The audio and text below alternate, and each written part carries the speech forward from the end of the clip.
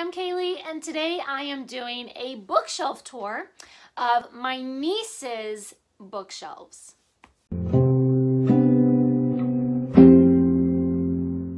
My nieces have birthdays coming up in the next couple of months. Uh, my youngest niece will be celebrating her very first birthday. She will be one year old in April. And my other niece will be three years old in May. So they are still quite young. They are, you know, barely a toddler and a baby. And I already have tons of books that I have bought for them and set aside for them waiting for the day when they learn how to read. I started buying books for my nieces uh, well before they were born. Um, most of these are used books, some of them are new. I kind of have a mixture here. They range all the way from baby board books all the way up to Jane Eyre.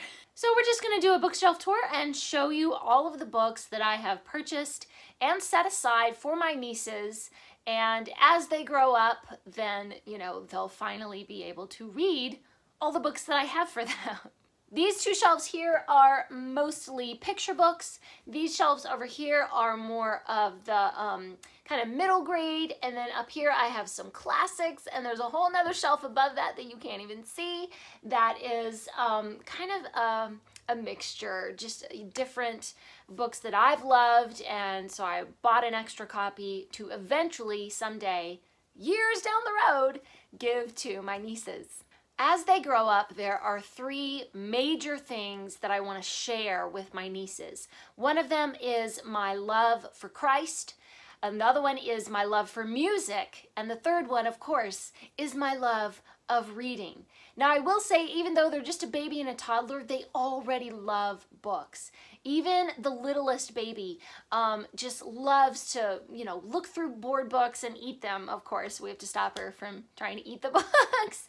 Um, but they are both just fascinated with books and reading and they have already uh, figured out that every time they see their Tia then they get a book. I always have presents for them. I always have a book ready to give them every time I see them. And they call me Tia because Tia is aunt in Spanish and um, we are a bilingual family and so that's just what they end up calling me.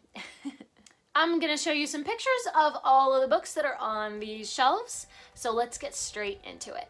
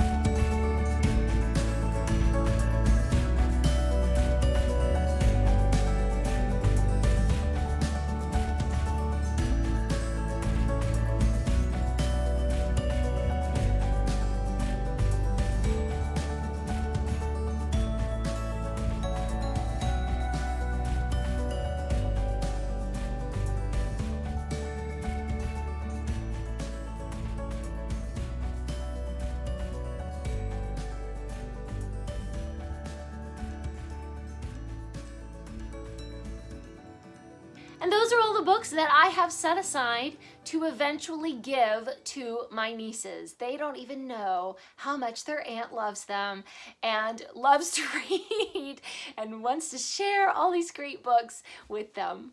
Please leave me a comment down below and let me know, did you see some of your favorite childhood books or books that interest you or just anything? Are any of these your favorites or what was your favorite book as a child that you think I should purchase for my nieces?